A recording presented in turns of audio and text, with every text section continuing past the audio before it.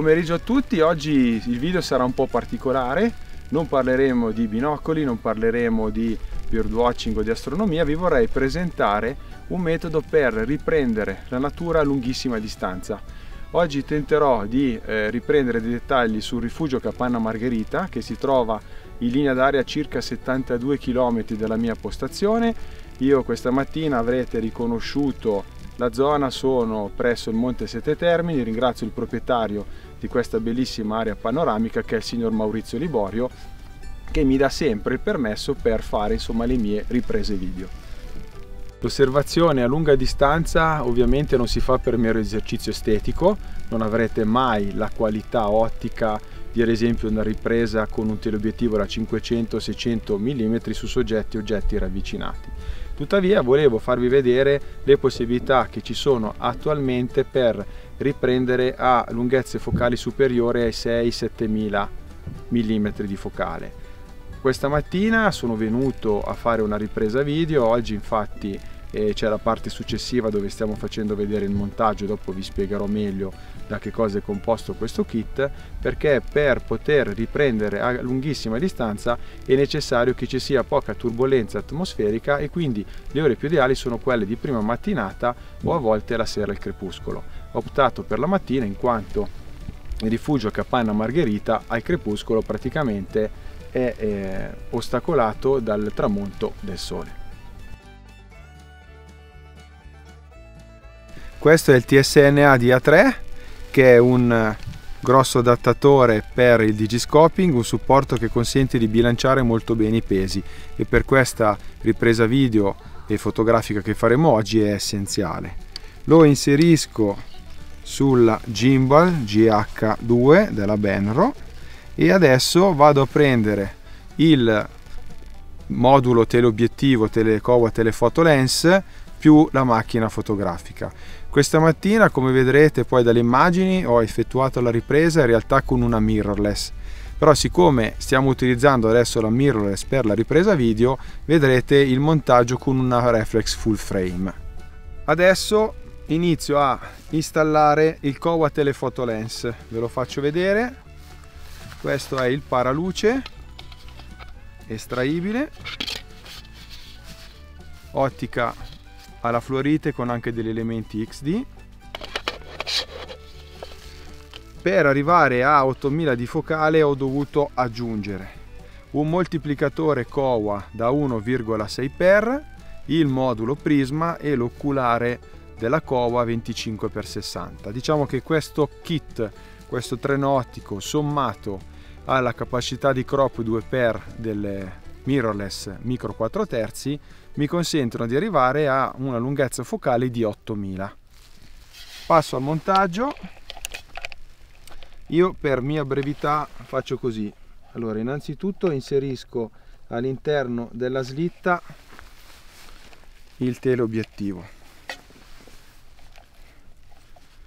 Lo lascio un attimo qua e adesso vado a prendere la macchina fotografica come prima cosa devo allineare il, lo spot and scope alla macchina fotografica. Quindi sposto all'esterno badando comunque a tenere ben fisso la gimbal della Benro e vado a inserire la reflex in quest'altro adattatore. Ora è abbastanza semplice l'allineamento. Devo sollevare questo e nel contempo vado a portare sull'asse ottico anche lo spotting. Ecco qua. Il tutto viene agganciato.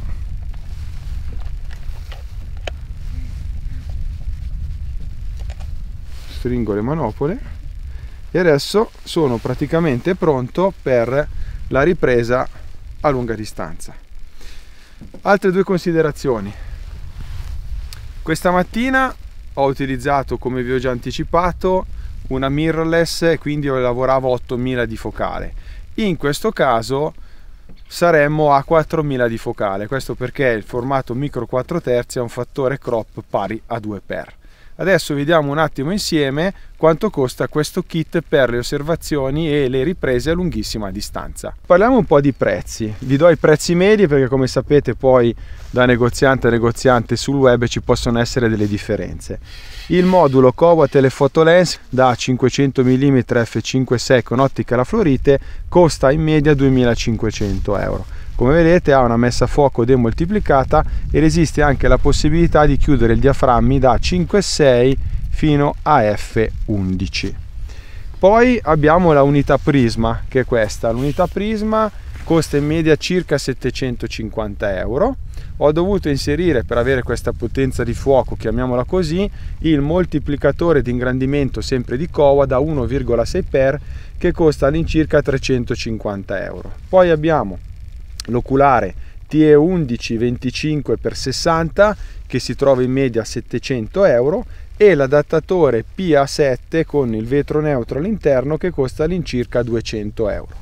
Il supporto che ho montato per primo TSN DA3 costa circa 300 euro e poi dipende dal montaggio che volete effettuare come supporto insomma io oggi ho utilizzato una gimbal aspettate che la giro ve la faccio vedere. È una testa molto utilizzata ad esempio nella caccia fotografica. Questa è la GH2 ci sono anche di più costose e di più robuste. Queste regge all'incirca 20 kg e costa in media 250 euro. Poi visto che il percorso da compiere non era eccessivo oggi ho utilizzato un robusto trepiede in legno della Berlebach che anch'esso regge 20 kg tuttavia avremmo potuto eh, con un costo superiore comunque acquistare o utilizzare un trepiede in carbonio della Siri adesso ve lo faccio vedere. Il trepiede della Berlebach costa in media 600 euro mentre purtroppo il trepiede della Sirio è molto costoso può costare anche oltre gli 800 euro. Diciamo così che in linea di massima tutta questa attrezzatura può costare totalmente anche col treppiede e con senza esclusa la, scusate, la macchina fotografica circa 6.300 euro. Poi dipenderà molto anche dal prezzo della macchina fotografica che utilizzerete. Poi è un treppiede in carbonio della Siri e la serie L403 regge eh, circa 20 kg pesa poco più di 2 kg R4203L su Binomania trovate la recensione che ho scritto qualche anno fa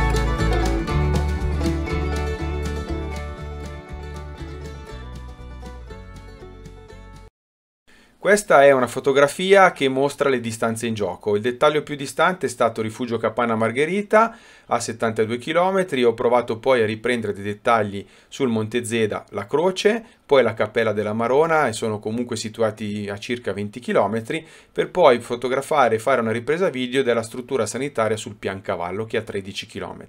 Un'altra sfida è stata quella di provare a leggere e a fotografare l'orologio di due chiese situate a 11 km, la chiesa di Ogebbio e quella di Triarego.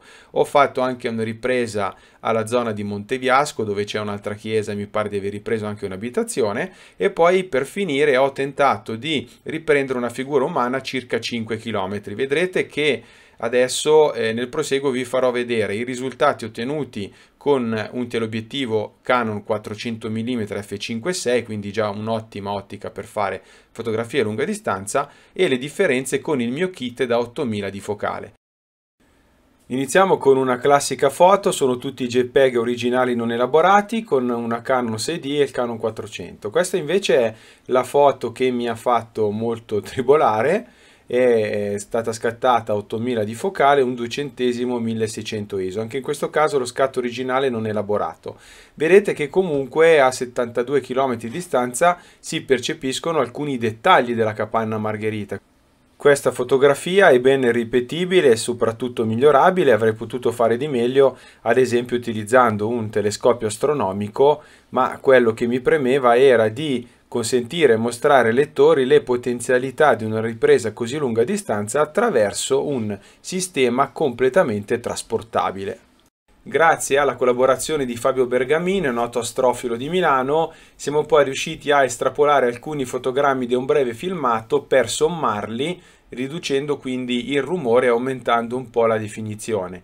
Ovviamente anche questo risultato è perfettibile, è stato fatto tutto velocemente per motivi di tempo e comunque ringrazio ancora Fabio per la sua grande disponibilità. Vedete in ogni caso che a 72 km se ci fossero delle persone al di fuori della capanna si comunque riuscirebbero a percepire la loro sagoma. Adesso faccio scorrere rapidamente alcune immagini, questa è ottenuta con il 400 sulla Cresia di Ogebbio, come vedete non si vedono particolari dettagli, qui invece si legge addirittura l'orario alle 9.15 tramite la ripresa 8000 mm. Questa è la chiesetta di Trarego, mi pare a 12 km di distanza e in questo caso a 8000 si vede alle 9.20 l'orario sul campanile. Ho poi tentato di fare una piccola composizione, in basso vedete un particolare dell'edificio sul piancavallo ripreso 8000 mm di focale sopra la classica foto con teleobiettivo. Se ci fossero state delle persone alla finestra sareste stati in grado di vederle. Questa immagine è stata scattata con il 400 mm, nel cerchietto rosso ci sono due signore che stanno lavorando nel loro terreno che ho ripreso 8000 di focale, quindi dopo vi potrete ben accorgere delle differenze. Io adesso termino qui questa disamina, passo a far scorrere i video sempre originali non elaborati, giusto per darvi un'idea di quello che si può vedere e fotografare e riprendere a lunghissima distanza con questo kit.